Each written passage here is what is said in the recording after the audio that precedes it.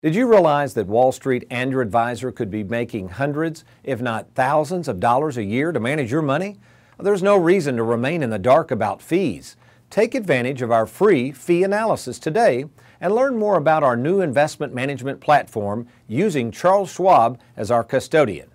To learn more or to find out what the fees are on your investments, log on to TonyWalkerFinancial.com. That's TonyWalkerFinancial.com.